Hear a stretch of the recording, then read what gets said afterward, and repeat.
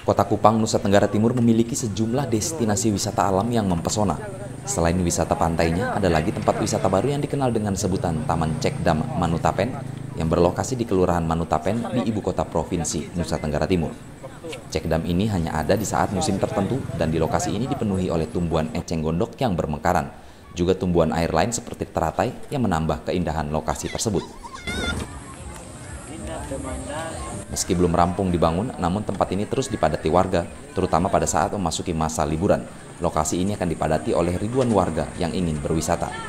Taman Cekdam Manutapen didesain sedemikian rupa, bahkan penataan taman rekreasi ini pun dilakukan secara swadaya oleh warga setempat.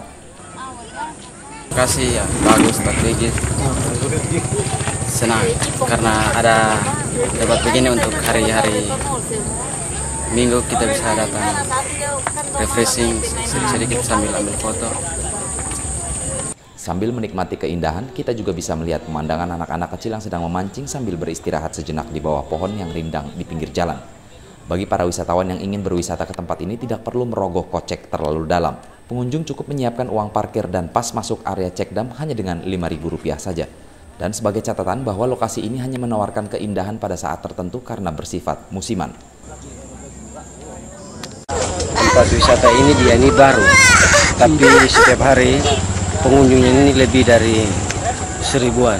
Nah, uh, wisata ini yang dikelola oleh pemuda-pemuda Monotapen dan lagi membuming di kalangan NTT sekarang semua warga kota Kupang memadati area ini mau dari pagi sampai malam pun. Padahal uh, belum rampung. Pembangunannya belum rampung. Tapi sudah banyak pengunjung yang sering datang ke sini tiap hari. Dari Kupang, Nusa Tenggara Timur, Leader Ismail, Tribrata TV, salam Tribrata.